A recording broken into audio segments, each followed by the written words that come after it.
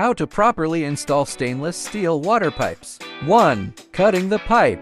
Use a manual pipe cutter for cold cutting. Avoid excessive force, keep the cutter perpendicular to the pipe and prevent deformation or burrs. 2. Deburring. Chamfer both inside and outside edges to remove burrs and debris. Leftover burrs can block drainage, cause buildup, and lead to corrosion or leaks. 3. Inspect and install fittings. Ensure the sealing ring is intact and remove any debris. Insert the fitting straight and slowly to avoid damaging or dislodging the seal.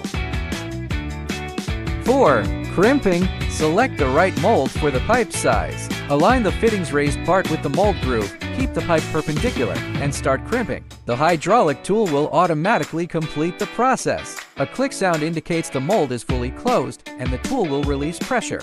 5. Inspection. Check if the fitting is properly crimped and securely tightened.